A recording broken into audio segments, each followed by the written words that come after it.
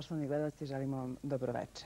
Možda nikada ne bi trebalo da zaboravimo koliko našim ličnim primerom, našim životnim opredeljenjem, pozivom koji obavljamo uz eh, s ljubavlju ili bez nje, utičemo na mlade ljude oko nas, oblikujemo ih i na poseban način vaspitavamo. Jedan od onih eh, čiji je život kretao u najrazličitijim pravcima, pa se u jednom trenutku nešto prelomilo i postao je ikonopisac, je naš večerašnji gost, gospodin Dušan Peškir. Dobroveče i dobro nam došli. Dobroveče. Ukoliko vas odmah pitam, koliko ste ikona do danas naslikali, da li ćete moći da mi date odgovor? Baveći se ikonografijom 24 godine, naslikao sam prema mojoj evidenciji 527 ikona. Čula sam da ste vrlo precizni, pedantni, da vodite na izuzetan način dokumentaciju. Zbog čega? U tom delu, da. Iz prostog razloga što e, znam gde mi je koja ikona koje godine prodata, u kojoj zemlji, po kojoj ceni. Pokrivena je cela zapadna Evropa, Kanada, Australija, Amerika, Brazil, Meksiko. To su ikone koje su rasljene po celom svetu, koje sam ja radio. Mnogi vas smatraju jednim od najboljih ikonopisaca. Da li vi sebe tako doživljavate? Da li ste najbolji? Teško pitanje. Ja o tome ne mogu da kažem ništa iz prostog razloga što je to i logično. Međutim, ako mi je za posljednjih sedam godina izložbe otvarao i na njima bio prisutan četiri puta njegova svetost, Patrija Srpski gospodin Pavle, dva mitropolita, Zagrebaško-Ljubljanski Jovan, Crnogorsko-Primonski Amfilohije, 13 vladika, protođakoni, džakoni, sveštenici, to samo po sebi govori gde je moje mjesto u Srpskoj pravoslavnoj crkvi kao ikonopisca. Pritom ste samouki. Da li e, to doživljavate kao vašu prednost? Apsolutno. Apsolutno. E, nijednu školu, nijednu akademiju nisam završio, niti, niti obilazio. Sve što sam naučio, naučio sam po crkvama i po manastirima. Hilandar mi je drugi dom. Tamo odlazim već devet godina za redom ulazeći u riznicu hilandarsku, gdje ima oko 800 ikona, gdje se napajam, nadahnjem ono što kažu ovo zemaljski ovde, e, kad mi se isprazne akumulatori, ja odlazim tamo i, i tamo posježem onu pravu tenziju koju po poradku ovde u Srbiju e, sprovodim, e, liturgišući, slikajući ikone onako kako ja to radim. Međutim, Dušane, da li je išto u vašem životu nagoveštavalo da ćete se jednog dana baviti ovim? Čime se baviti? Što je postala vaša ljubav? Moj život je dosta komplikovana e, jedna priča. Trebali ste vratiti na početak priče koje ćemo malo kasnije verovatno da dotaknemo. A ništa, jednostavno, jednostavno e, je rukovodio sa mnom, apsolutno, niko u porodici mi nije bio verujući jednostavno, jednostavno ja verujem u, u, u slogan da svako E, ima svoju sudbinu i svako nosi svoj krst. Ja sam živi primjer i dokaz, recimo, gde, gde je gore sviše učinjeno sve da, da, da ja budem to što jesam danas.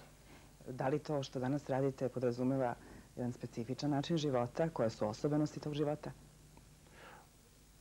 Ja sam živo biće kao i, kao i, i svi ostali ljudi, međutim u, u periodu, u delu kada se bavim ikonografijom, eh, kada počinjem da slikam ikonu, to su posebne pripreme, to je, to je post, molitva, uh, uh, pričest, uh, jedna priprema koja je, ja sam verujući čovjek pre svega, koja je, koja je neophodna da bi, da, bi, da bi se pristupilo u slikanju ikona onako kako ja radim.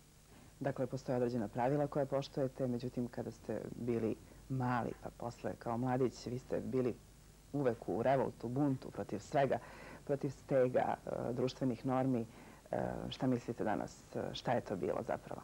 Vaša priroda? To je bilo, to je bilo jedno traženje mene kao,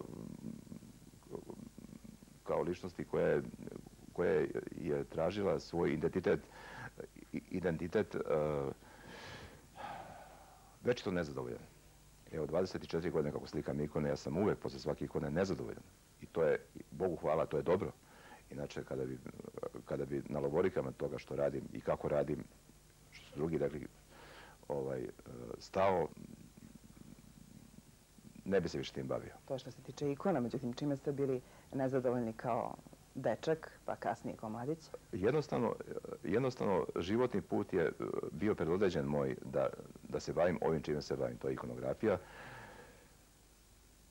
Kao mladić od 14-15 godina ja sam se bavio uh, profesionalno rock muzikom. Igrao sam futbol profesionalno u Belgiji. To su kontradiktornosti, to su paradoksi koji, koji su izuzetno ovaj, teški da, da se pojasne, međutim sve je to bilo moje traženje mog identiteta i moje ličnosti jednostavno ovaj, uh, kroz životni taj moj put od nekih 35 godina unazad, ja sam unazad 24 godine i do kraja života sigurno pronašao sebe. Da li ste se tražili kada ste bili loš džak? Ta škola je bilo jedno nužno zlo gdje sam ja morao to da ispoštujem zbog svojih roditelja, zbog um, opšte društveno-političke situacije. Jednostavno, ako nemate neki papir, niste bili niko i ništa. Ta srednja škola je bila ovaj, nešto, jedna prozna stanica. Srednja škola, naravno, u životu sam uh, do, od 14. 15. godine do 20. se bavio paralelno sa, sa, sa tri u tri pravce moj život je, je, je tekao. To je bila rock grupa koja se zvala, koja se zvali smo se Bitnici. Uh, Šta je to značilo Bitnici? Bitnici, to je bio, to je bio jedan bunt, to je bio jedan pokret. Kao hipici što su bili, tako su bili Bitnici. Oni su bili malo žešći ovako i... I kako ste izgledali, imali ste duge kose? Izuzetno. Minđuše? Ne, A, bez minđuša. Tada, tada nije. Dugačka kosa je bilo nešto poput, recimo, kada bi danas čovjek išao potpuno na ulicom te mere siluete. Grupa The Best Nothing, to su sada braća Vranešević iz laboratorije zvuka i mi smo imali dugačke kose. Bilo je dovoljno da, da imate dugačku kosu i da imate sluha za muziku onog vremena. Beatles i Rolling Stones i Pretty Things i grupa Move i Jimi Hendrix i tako. To je bilo sasvim dovoljno da, da ovaj, to mm, pošteno eh, ovaj, se odradi da bi, da bi ste imali punu, punu salu, recimo. To je bio gradski podrom, stara Stamor Kapija, Domo Mladine, širom, širom Srbije i, i, i po Jadranskom moru smo bili zastupljeni i onda septembar, krajem, dolazimo za Beorad i onda se pravilo. Kakav lom? Pa u smislu uvežbanosti, u smislu novog repertoara, bilo nas i jako malo grupa. Šta ste vi svirali? Sol gitaru. Od kada niste uzeli gitaru u ruke? Od, od kad sam prestao se bavim muzikom. To znači koliko? 20 i nešto godina? 30? Od 70. godine. I nije vam žao? Kako to? Ne, ne. Jednostavno, jednostavno ja sam čovjek koji radi posao eh, jedan i nikada polovično, jednostavno idem do kraja. Sve ili ništa. Da li to mogu da dovedem eh, u vezu sa nazivom svih vaših izložbi? pravoslavlje ili smrt, može, crno ili belo. Može, to je sastavni deo moga života, pravoslavlje ili smrt. To je jedan slogan koji je koji malo ko razume danas. Ja ću da ga pokušati da ga pojasnim. Svaka izložba mojih ikona nosi naziv pravoslavlje i smrt. Hrišćani pravoslavnog istoka su u 7. i 8. veku prolivali krv da bi sačuvali ikone. Moto njihovog života je bio ikona ili smrt moto svih mojih izložbi ikona glasi pravoslavlje i smrt, što je potpuno isto. Jer tamo gdje je nestalo ikona, tamo je nestalo i pravoslavlja. A time je oskrnavljen i pomračen ljudski lik i lik Boži.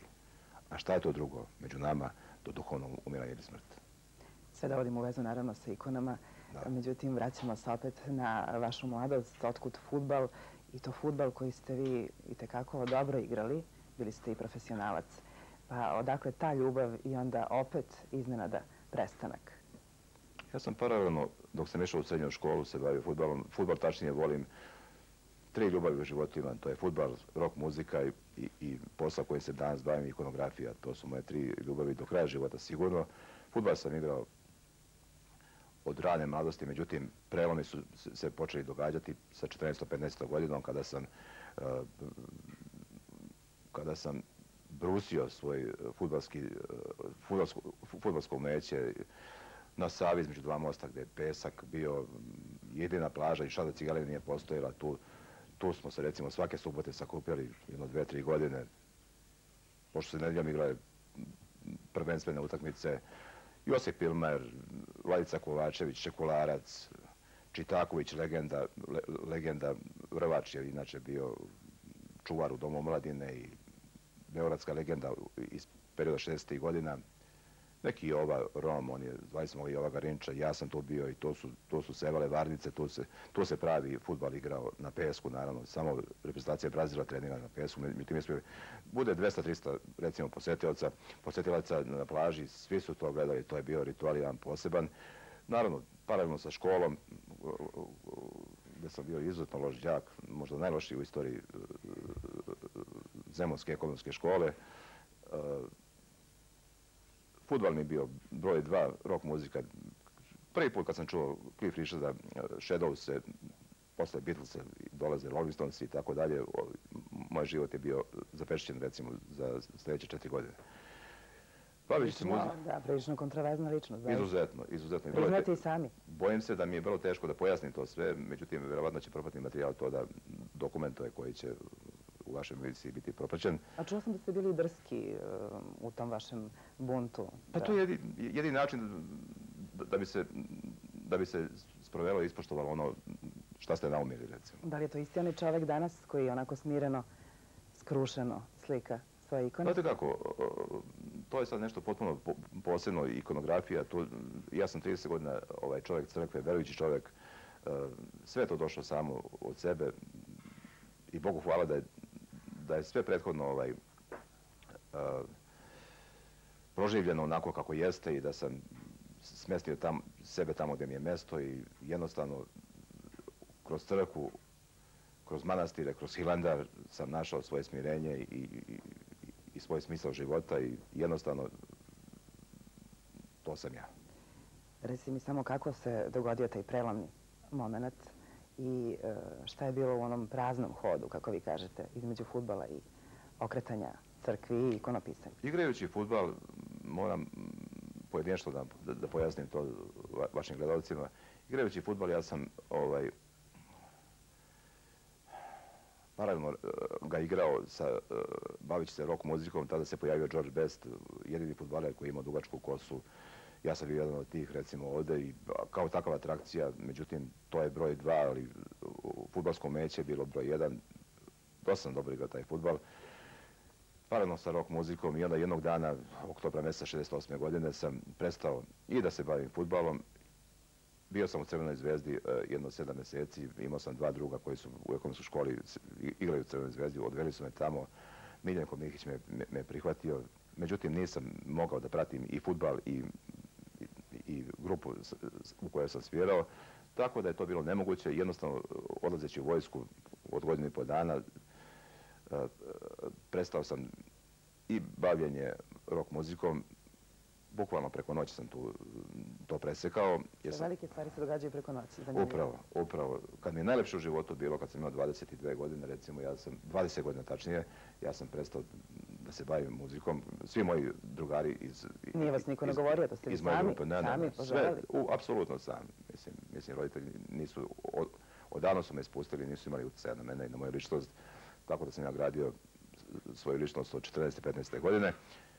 Tako da je to išlo spontano, onako kako, kako sam po intuiciji, po, po instinktu ovaj, osjećao, tako sam se ponašao. I šta se onda dogodio? Onda sam otišao u vojsku. Posle vojske imao sam pre toga par, Pa, par, prijatelja koji su imali, koji su bili menadžeri u, u Belgiji. Završim voj, vojsku, u vojsku sam trenirao futbol, recimo, uvijek sam pola sata ranije ustao od ostalih vojnika i recimo trenirao godinu i po dana, što je jako mnogo, je isključio zbog čiste kondicije i onoga, onoga svega što nisam imao u odnosu na futbolsko meće i znanje. Sve ovaj avion i otišao u Belgiju i igrao sam, igrao sam u, u, u jakoj drugoj ligi belgijskog prvenstva. Tada je u toj ligi igrao i Antwerpen. Kasnije su za njega igrali Svilar i Pižon bio u drugoj ligi, te godine prešao u prvu ligu, zvali su me da, da, da pređem kod njih, međutim, posle godinu i po dana e, sa jedan mlad čovek zelen da bi mogao da prati novac koji ga je e, snašao, e, napravio sam jedan životni rez i preko sutradan sam seo u avion i došao za Beograd. I kada ste počeli onda da slikate ikone? Zvoneći na vrata, majka mi je bukvalno pala u nesvest i kako me videla, jer znali da sam mi predvidivali toliko, jer zaista kad mi je bilo najlepše u životu, ja sam to... A šta vas je to zvalo? Šta mislite? Ne, to je nešto gore sviše, verujući, ma će to biti daleko jasnije, ja to ne, ne umem i ne želim da pojašnjavam e, posebno. Jednostavno, e, nije to bilo to. A kada ste osjetili to što je to?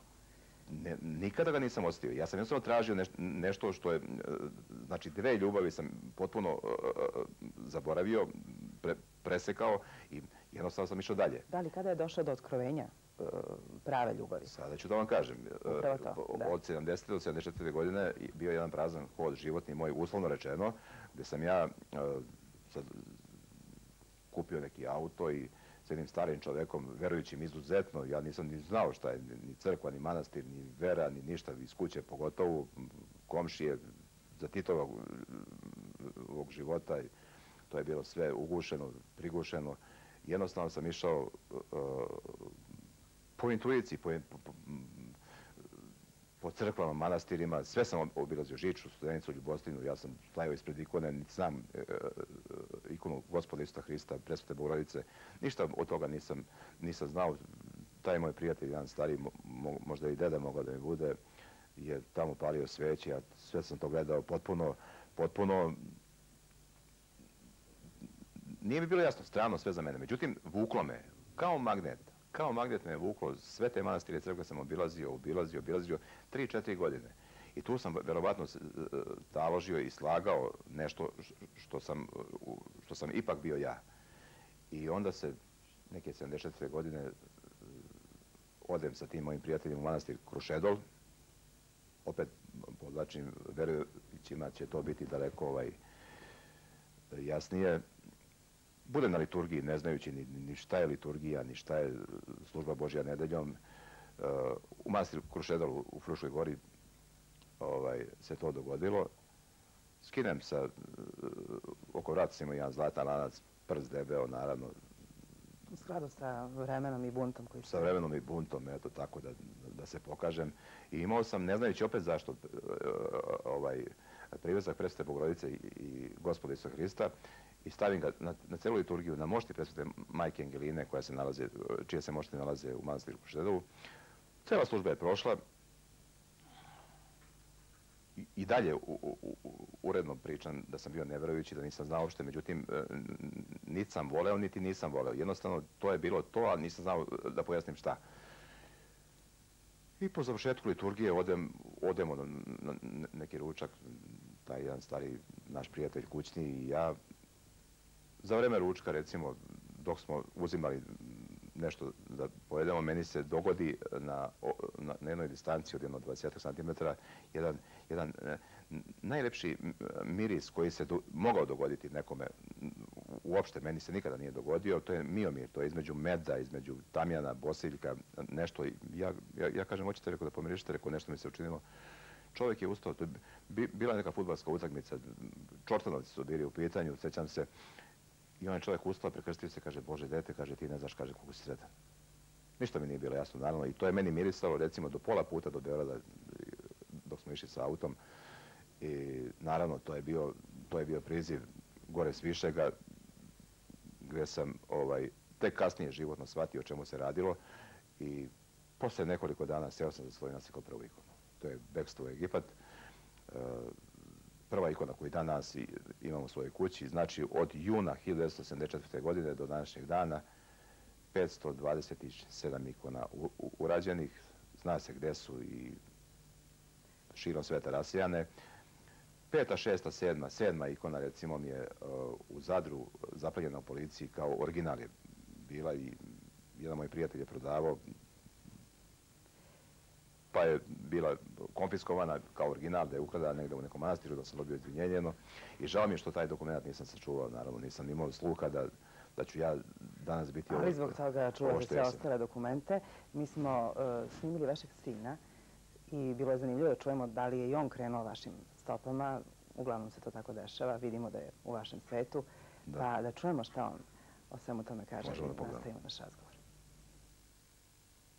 ja od kad znam za sebe, ovaj, znam za umetnost, za slikarstvo. Znači, to je nešto što me od uvek zanimalo i baš od malih nogu uvek sam i slikao i crtao, ošte bavio se svim tim. I uvek sam govorio da ću ovaj, biti slikar kada, kada porastim. Da li posmatraš svog oca dok radi? Da, da, A šta tada doživljavaš? često. Pa to su uglavnom tako, to je u stvari tako i nekad bilo, ovaj, stari majstori kako su prenosili zanat, oni u stvari nisu prenosili, to jest ne zanat, nego umetnost. E, nisu držali predavanja, nego su e, njihovi učenici bukvalno morali da kradu od njih e, to znanje, znači da, da ih špioniraju praktično. Ovaj. To je verovatno neka formula koja je opstala i, i koja treba tako da bude.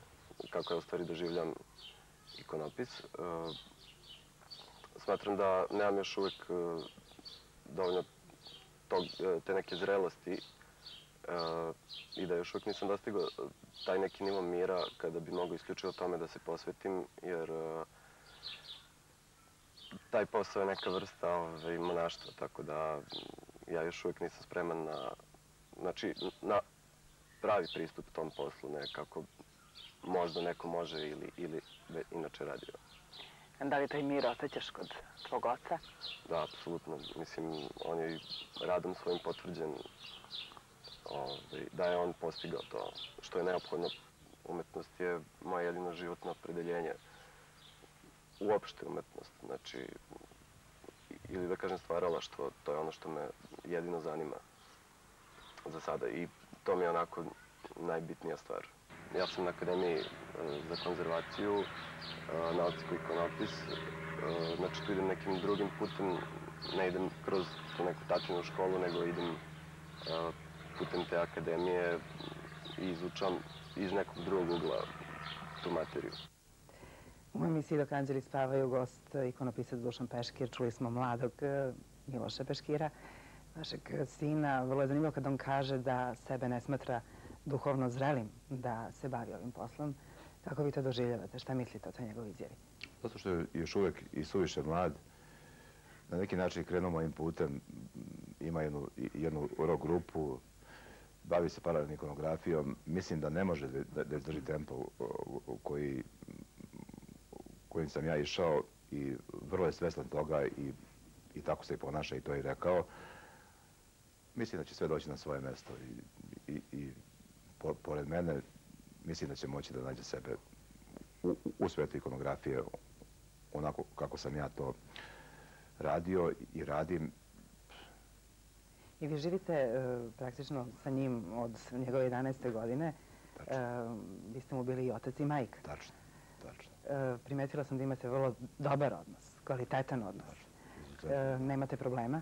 Nikakvog problema sa sinom nemam. Zaista, redko dete, pod okolnostima pod kojima je ovaj, živeo i kako je živeo, izuzetno, izuzetno mlad čovjek i mislim da, da vreme radi za njega i, i, i, i, i da će biti sve kako valje što se njega tiče i, i posla kojim, kojim ćemo da se bavimo zajedno na zvojice. Vi vaš e, dar prenosite, imali ste uh, svoje učenike da.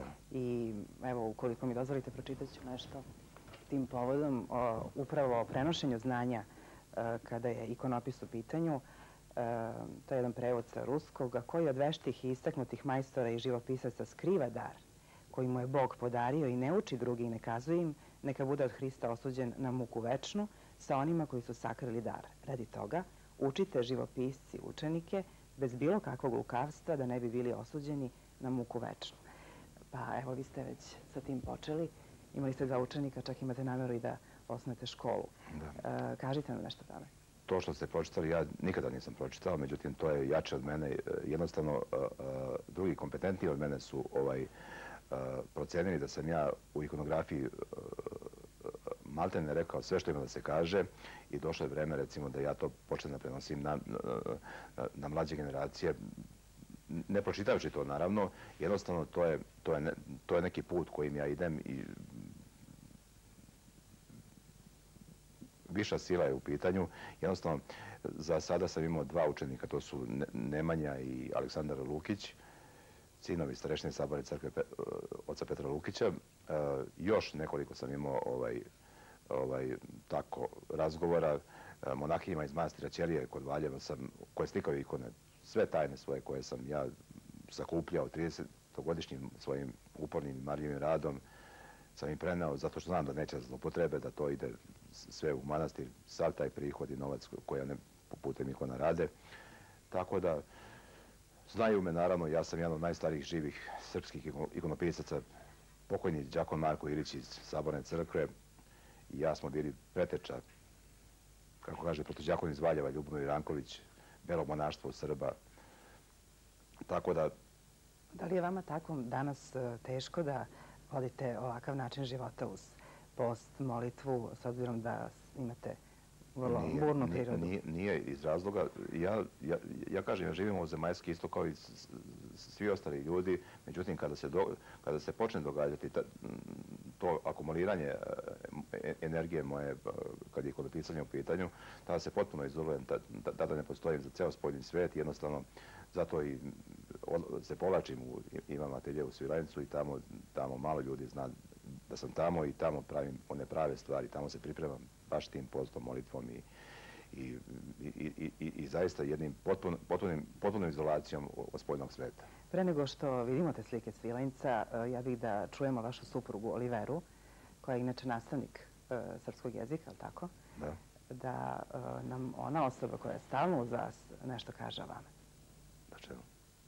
Moment ikonopisanja u našoj kući je nešto čemu je čitav život doma, atmosfera doma, uloga moja, uloga našeg sina na jedan e, svetao, topao, ljudski način podređena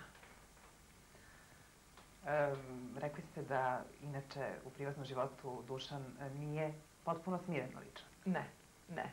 On je, e, mogu reći nešto što je možda e, za druge ljude često korišćeno, jedna bujna i burna priroda.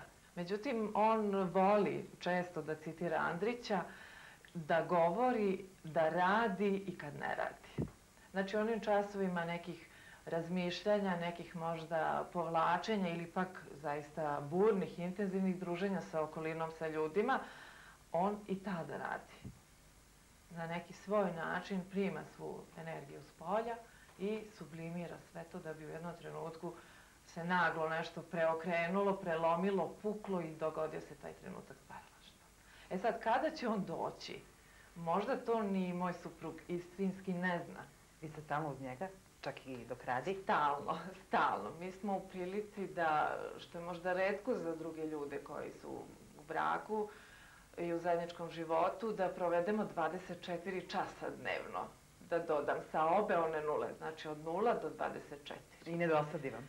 E, imamo svoje interesovanja, ali je sreća možda u tome, a ja mislim da je to više sudbinski, što e, smo nekako na, na nekom zajedničkom stablu. Ako bi se u širem smislu uzelo da je umetnost stablo, mi smo možda neke dve grane. Moja ljubav je pisana reč, možda i usmena reč, a on je e, slikar, e, posvećen bojama. U tom smislu mi možemo puno toga da nađemo zajedničkog u tim sferama. I naravno, prevashodno ono što nas spaja, to je e, određena, da biram reč, duhovna bliskost. Mislim da je to mnogo, mnogo važnije od drugih nekih osobina. Mislim da ljudi u svojim brakovima i u svojim porodicama treba više da obrate pažnju na nešto što je iznad navika, iznad e, samoljublja, iznad egoizma, iznad ličnih potreba. Dušane, recite e, koliko je važna uloga Oliverina, ovako kada je stalno prisutna. Čuli ste, čuli ste, Vaš doživlje. ni malo jer nije lako. Ja sam jedna teška ličnost, e, konfliktna, kompleksna ličnost, izuzetno i vrlo me je teško pratiti. Ne mene kao ime i prezime i, i, i moju ličnost, nego, nego, nego a, misija koju, kojom se ja bavim. Recimo, ja sam imao za posljednje 7 godina 20 izložbi od Bijeljine do Cetinja. Sve sam pokrio e, veće srpske gradove. E, Samim tim, ovaj, ona je bila uvek uz mene, uvek je pokrivala ogroman deo. Dovoljno je da bude samo pored mene, da, da ništa ne radi, pa je, pa je mnogo. E, kad je ona u pitanju. A kamoli što je, što je zaista učestvovala u svakoj toj od moj, priprema od mojih izložbi. Tako da, e, izuzetno sam joj zahvalan na razumevanju koje je jako izuzetno teško zaista pratiti mene kao ličnost. Ja sam već jedna institucija koja, koja funkcioniše po gradovima Srbije iz prostog razloga što e, ikonografija nam je izuzetno na, na niskom nivou po crkvama, po manastirima širom Srbije, e, tako da ovaj, ja sam bio taj uslovno rečeno gubitnik e, u onom materijalnom, perifernom smislu reči, praveći te svoje izložbe, iz prostog razloga samo su, su rađene da bi, da bi taj naš srpski rod video, uvideo. Ja sam prethodno razgovoru rekao ko je sve stoji za mene, njegova svetost Patijar Pavle, dva metropolita, 13 vladika i tako dalje. Znači, jedan garant da je to prava stvar koja ide u, u, Vladike, u narod. Vladike, episkopi su čuvari čistote i ikonopisa, tako? Apsolutno, da. E, međutim, ono što e, bi bilo zanimljivo da kažete, to je kako vi radite e, te ikone i kada. Malo čas ste mi rekli da prethodnu noć niste uopšte spavali. Da. I da praktično vi ni posle ne spavate jer ste pozitivno umorni. Da. Zanimljivo zvuči. To je tačno, da. Kako nastaje jedna moja ikona? Prvo obilazim teren, recimo, sa jednim ili dvojicom prijatelja, odlazim gde, su, gde postoje stare potočare koje su potpuno uh, porušene. Uh, to su daske uh, koje navodnjavaju vodu koja pada dole na kotur, dole u samoj reci. To je sve rastorno i to je sve, sve po tim malim potocima, rekama. To su daske stare od 70 do 90 godina koje, koje, koje vadim, sečem i na licu mesta. To varnice sevaju kada se one, one presecaju u, u, u, u smislu da su zdrave daske i jednostavno, znači daska koja je sve odradila. Onda imam jednu malu radionicu koju ćete naši, vaši gledalci vidjeti e, gde, gde, se, gde se događa priprema, recimo, e, ikone, to, e, priprema za rad ikone. Znači, prvo daska, onda se ona kopa iz jednog dela, pravi se takozvano korito jedno, onda je sloj gaze, preparature koji na svetu, samo jedino ja znam, nema nas dvojica. Da, to ste već nama rekli u Silencu i ne želite nikome da otkrijete tajno, da li ćete reći vašim učenicima? Sigurno, kada zasluže... A što to znači kada zasluže? Pa, pa, upravo da se potrude svojim radom, jednostavno, vrlo prosto, ne da urade pet ikona na dnevnoj bazi, pa da pa da im ja to... A vi ćete biti taj koji će odlučiti kada su oni postigli? Apsolutno, vrlo sam kompetentan i merodavan da, da mogu to da procenim i odlučim. Vi radite gušćim perom, da li to još neko radi tako? Niko, niko, niko. Zbog čega sad Cela vi radite tako? E, ceo pristup uh, poslu kojim se bavim, da li sam jedini, to ne znam, ali znam da radim onako kako su nekada stari majstori radili, zato što se, uh, se, se utkiva tim gušćim perom, recimo, dodatni jedan segment e, e, duše e, u jednoj ikoni, tako da ovaj, dobija se ona toplina, dobija se, dobija se nešto što, što nema svaka ikona. Kao što se dobije nešto u vašem domu što nema svaki dom. Sve, sve tamo postoji, čitava dakle, vaša dokumentacija, ključevi manastira u kojima ste boravili, tako? To ćemo sve moći da vidimo. U kojima sam imao izložbe, jednostavno sam dobijao to jedini uslov bio ovaj, da, da mi ostane za uspomenu svaki od tih ključeva i, i, i, svaki, i svako manastir ili crkve u kojoj sam imao izložbu kao jedan mali uh, uslovno rečeno suvenir, međutim to je za mene daleko više značajno. Bilo bi dobro da nam vi kažete zbog čega se ikonografija, ikonopis smatra najuzvišenijim slikarstvom. Iz prostog razloga što, što je to i, i, i, i pored toga i najtravrsta slikarstva. Zašto? I najodgovornija. Zato što u ikonografiji nemate lagodnog poigravanja. E, znači, jedan slikar e, može, pejzaž kada slika, može jedno drvo da pomeri 2 cm levo, 2 desno. Vi u ikonografiji robujete strogim crkvenim kanonima od kojih nema lagodnog poigravanja i odstupanja. Jednostavno mora da se prati kanon od prve ikone do današnjih dana. A kako onda za neku ikonu kažemo da ima e, više duše, da je toplija, a za neku drugu da je hladnija? Ukoliko se isključivo poštuje samo kanon. Da, ali to, ali, ali to apsolutno ne remeti kanon ili, ili zakone ikonografije. Jednostavno, e, e, to je na pojedincu da utka više duše. Kad kažem duše, to se odnosi na dasku, na, na ivice recimo, da, da, da vas ne zaboli kad pipnete ivicu, na vosak čerinji. Onda vas kažu da milujete tu dasku, pa upravo, nešto Upravo, to po dva sata se recimo sa palčima ivice ovaj, bruse, kao da je, kao da je prošlo 200 godina recimo iz ruke u, u, u ruku. Recimo, to je jedan, jedan od detalja. Dušana, da li e, prihvatate napravimo jednu malu pauzu e, da čujemo jednog od vašeg, vaših učenika koje ste pomenuli, dakle, Možemo. Aleksandar Lukić.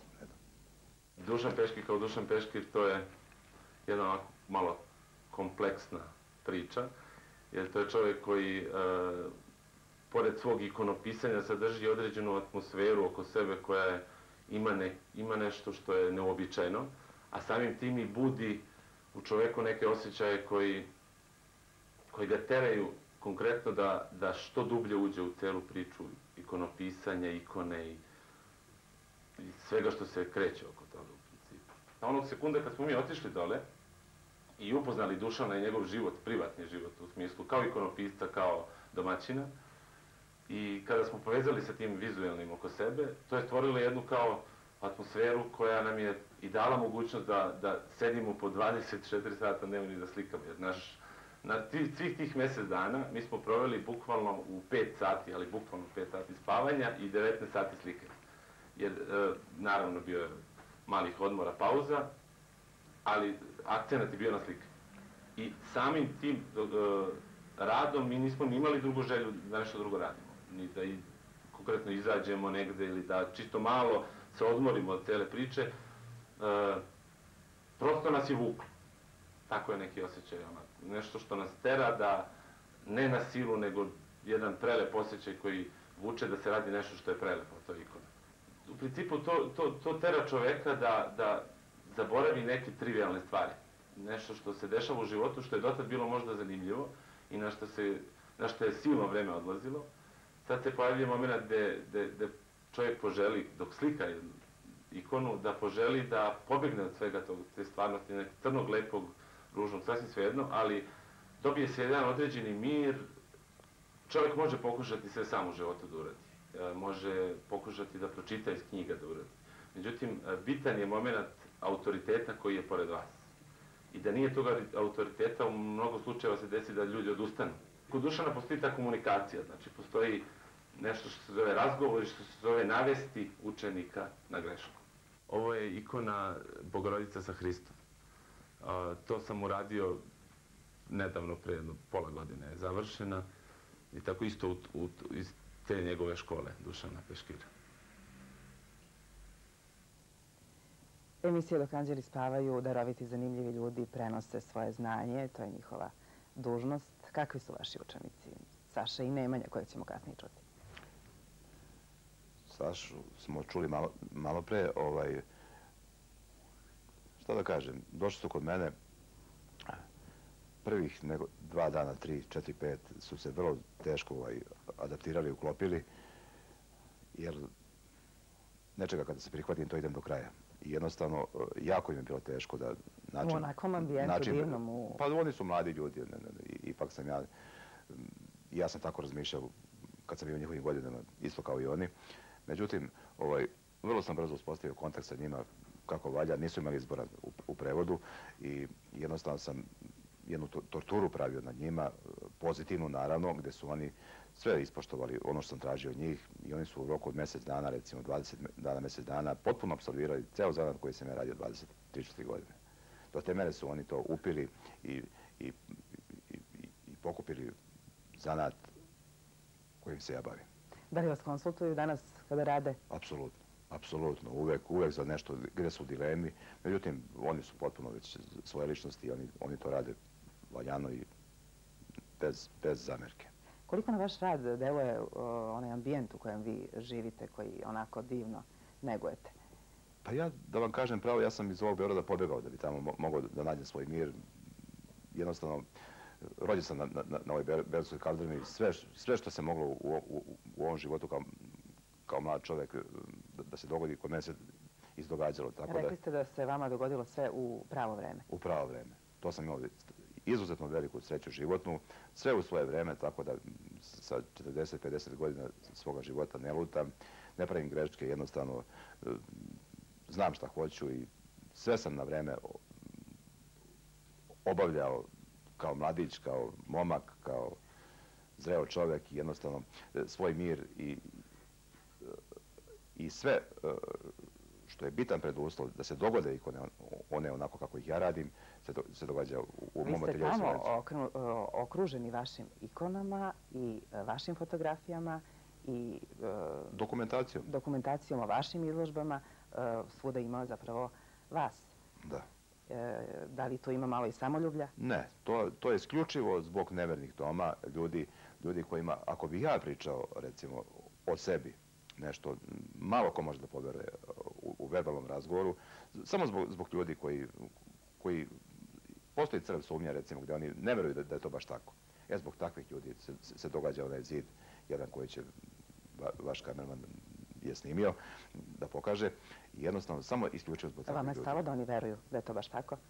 Ne, to je zbog njih, ne zbog mene da bi bili obogaćeni na taj način. Upravo tako, upravo. Da li se razlikuje uh, ikona koju je naslikao verujući čovek od čoveka koji nije vernik? Apsolutno, apsolutno. Uh, uh, danas smo svedoci, recimo, ovaj, jako puno novopečenih preko noći ikonopisa. Svaki dan se verovatno jedan do dva pojavljuju, znajući koliko naš narod ne zna, koliko ne zna o ikonografiji. I to, i, i to se majstorski ovaj, da i ovaj isplatiti i naplatiti i onda ovaj a to se vidi na ikoni. Vidi. Malo malo realan čovjek, ne, ne treba da bude verujući, može da vidi ikonu koju radi verujući čovjek i ikonu koju radi čovjek. Da, vi ste rekli da, da preko čak... uzme novac i da ide dalje. Pa rekli ste čak da razlikujete i uh, posmatrače uh, kada gledaju vaše ikone, Absolutno. kada dođu na izložbu i uh, također pravite razliku između onog koji veruju i oni koji Absolutno, ne veruju. to se vidi, to se vidi. Zbog čega je Andrej Rubljov najbolji ikonopisac? Pa iz prostog razloga što, što se bolje nije pojavio. On je bio monah, monah da li mislite da je to jedan od razloga? Apsolutno, jedan od razloga, recimo, s tim što je imao uh, stravičan uh, talent da, da ikonopiše. Imate vi monaha na Svetoj gori jako puno, međutim, ipak je i sastavni deo e, sveokupne celine i, i talenat jedan. Andrej Rubljov je nešto što se jedan put rađa za sve vremena. Čućemo i uh, Aleksandra, o, ne, izvinite, Nemanju, Nemanju, brata Aleksandrovog, Nemanju Lukića, pa ćemo nastaviti naš razgovor.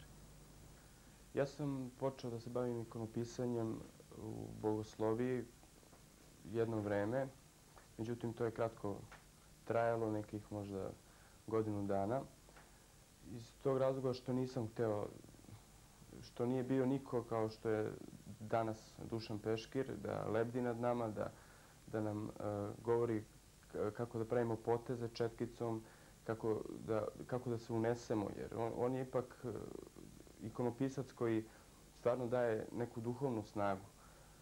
Baš tim hodom njegovim, na primjer, za nas, tog hoda, pa krajičkom oka pogleda šta smo uradili, da mora sve da bude u dla, dlaka u dlaci, da, da ti podočnjaci kod svetitelja da izgledaju onako mučenički kako su svetitelji su i svoj život ovaj, mučenički živeli. Dušan Peškir je čovjek koji voli da čuva, koji neguje, eh, da kažem, srpstvo u, u, u svom domu i kad uđete kod njega u, u njegovo dvorište u Svilencu možete da osjetite Dušana. E, ima jedan moment koji rado prepričavam često puta svima koji me pitaju o njemu. U njegovom ateljevu na jednoj stalaži postoji stara sveća, stari svećnjak, e, drvena šolja i preko te šolje i svećnjaka nalazi se pavučina. I Dušan je negovao tu pavučinu. Sad da bi ja napravio neki ovaj, da bi razbio to preozbiljnost, ne da je razbijem da bi, da, da, jer mi ne odgovara, jer da unesem nečega šaljivog u našem radu. Jednom priliku sam otišao do njega dok je radio, ovaj, dok je grundirao daske za ikone i rekao mu da sam obrisao tu paučinu. On je tako skočio i iznenadio se i kaže kako si mogao to da uradiš, ja to negujem jednih šest godina, to nisi smeo da uradiš. Naime, kasnije se uspostavilo da je sve ispalo šala i, i priznao mi je da, sam, da je to možda i prvi put u njegovom životu da ga je neko tako prešao. Naučio me je da ja isto tako slikam ikonu, da svu svoju dušu, sve svoje srce unesem u svoj rad i u svoje ikonopisanje. Jer e, mnogo je jako osjećaj kada, kada shvatite da neko možda daleko se moli nad mojom ikonom, nad ikonom moga brata, nad ikonom Dušanovom. Kad shvatite da je vaša ikona prozor u duhovni svet i naši zastupnici pred Bogom. Ikona koja mi je stvarno jako prirasla i k srcu, to je ikona e, presvete Bogorodice Hilandarske. E, vi kao učitelj, e, ikonopisac, možete da naučite vaše učenike zanatu, međutim da unesu dušu i srce. E, kako se to događa? To je, ne, to je jedan fluid koji ja nosim u sebi. Jednostavno, jednostavno imam taj dar da, da mogu da utičem, da, da mogu, pogotovo kad znate da stojite iza nečega što je ispravno, što je prava stvar, jednostavno imam tu snagu i moć i ne, nema šanse da mi pobegne neko ako, ako, se ja zauzmem recimo da... Vi ne želite da pravite razliku među vašim mučenicima? Ne, ne, ne. Zbog čega? Ne, iz prostog razloga što su oba dvojica, to su njihovi početci, e, oni će tek kasnije da se nadgrađuju i, i vidjet će se ko je gde, međutim, elementarno, ono, osnovno, naj, najpozitivnije su ovaj, uh, primili i apsolutno ne postoji razlika. Svako ima svoj prilaz, svako lično za sebe, međutim, kad je ikona u pitanju potpuno, prve ikone koje su radili oba dvojica, jedno i drugo ja bih mogao da potpišem. E, s obzirom da ste pomenuli da ćete osnovati školu, da će to biti prva škola ikonografije kod nas? Da. E, u opciji jedan projekat e, negde maja mjeseca iduće godine spremam se da, da otvorim, da osnovim i da otvorim školu ikonografije za mlade talente, za ljude koji su gladni, željni, željni ovaj, saznanja kako se slika ikona, na koji način, kako se pristupa slikanju ikone. Nešto da im prenesem što, što im niko neće reći ni u ovom gradu, ni, ni, ni u ovoj našoj Srbiji. Jednostavno, sve svoje životno iskustvo koje sam stekao radeći 24 godine, želim da prenesem na drugi. Postoji mogućnost da neko od njih postane bolji od vas? Daj Bože. Jel ćete se osjetiti, osjetiti bogatijim? Biću jako bogat čovjek izuzetno, apsolutno. I to mi je cilj na kraju. To, to mi je cilj. Bez zadrške, bez, bez nekih uh, sakrivalica, jednostavno sve što znam, e, tako sam monahinjama iz manastira Ćerije, sve tajne koje su me pitale, rekao, jer to, to mi je cilj krajnji. Izuzev tajne kako uh, stvarate vaše ikone, to ne želite da kažete ne, ne, ne, kakav ne. To treba da se zaslušati. A ko je vas tome naučio? Jedan stari pokojni Rus, 76. godine, ja slikam od 74. godine, 76. godine, pošto je vidio kako slikam i na koji način. Vidimo to i mi. Upravo. Uh, on je umro i dao mi je u amanet taj recept, to je stari ruski recept, kako su stari monasi ruski slikali ikone. Niko još dok učio, ja pratim ikonografiju u našem gradu, širom Srbije, međutim, niko. Uglavnom se ovaj, ikonopisi naši današnji ovaj, eh, oslanjaju na gršku školu koja je sa jako puno zlata. Moja te teorija je gdje je više zlata, to je manje eh, znanja eh, slikarskog umeća samog svetitelja i iz prostog razloga što naš narod se malo trgne ovaj, strahopoštovanje jedno postoji, jer to je gomila zlata ovci. Što manje zlata, to je ikonopisac za mene jači i, i bolje. Koliko ste kontroverzni, govori jedan deo našeg razgovora kada smo se drugi ili treći put videli, e, kada ste mi rekli da vi volite i neke slikare, moderne slikare, da. E, koji rade sasvim u suprotnosti sa onim što je zapravo ikona. E, pa mi recite, ko su ti slikari? Ima jedan zanimljiv doželje, sa, slika Oskara Kokoške. Da. Šta se to vama kod njih dopada? Postoji jedna predpriča, recimo. Ja sam e, e, 16 godina drugovao, e, e, bar dva puta nedelja smo se viđali sa profesorom, akademikom Nedeljkom Gozdenovićem, slikarom naravno, e, koji više nije živ. E, Sve u životu o slikarstvu. Ja sam to nosio u sebi, međutim, trebao, trebao mi jedan takav pedagog, jedan takav čovjek, kao otac, recimo, e, od koga sam zaista e, u, u, li- u, u likovnoj kulturi naučio sve što je moglo da se nauči. Jednostavno imao sam divno životno iskustvo. Pričamo tako o Oskaru Kokoški, recimo, i on mi kaže, pogledajte, kaže, ovu, pogledajte, kaže, ovu sliku. I sad mi, imali smo neku reprodukciju ispred sebe. To je slika formata 40 puta 30, recimo, što ja znam. E, potpuno je sva u, u crveno. Ja naravno ne bi to primetio ni registrovao da mi on nije skrenuo pažnju na što da obratim pažnju pažnju, na pastu, na namaz, na, na način kako je on razmišljao. To je čovjek koji izvrši samoubistvo, recimo, Oskar Kokoška. Međutim, da se vratimo na profesora Gozenovića. To je čovjek e, koji je e, u svom životnom opusu naslikao preko hiljadi poslika.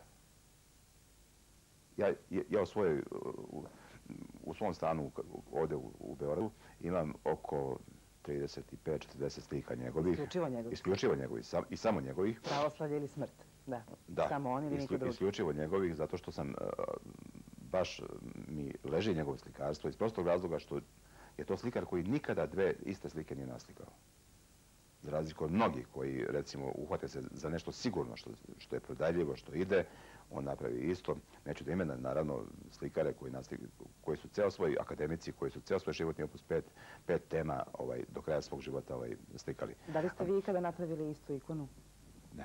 Nikada iste. Nikada. Da li ste pokušali da napravite ikonu And, eh, Andreja, podražavajući Andreja Rubljova? Jesam, jesam, jesam. Ta ikona se nalazi u Beogradu, u, jednom, u, u, u, u privatnom vlasništvu. E, e, Gospod Isus Hristos, recimo, to je ikona koja se, koju sam uradio od, od Andre- Andreja Rubljova. Nažalost, nije, večeras nećemo vidjeti, možda nekom drugom prilikom, međutim, prilikom. bilo mi je drago da čujem da li ste se usudili da radite i tako jesam, nešto jesam, i da li ćete se usuditi da radite neku drugu, recimo Svetu Trojicu? Apsolutno, to, to, je, to je na putu već to. E, jako puno imam naružbina i onda sam, pošto ja to dosta sporo i mukotrpno radim, samim tim je i nemoguće odvojiti vreme za nešto za svoju dušu da se uradi, tako da ljudi me čekaju po godinu i po dve dana da dođu do svoje ikone koje su naručili, tako da, znajući kako ja radim sporo i da će to biti valjano, čekaju me.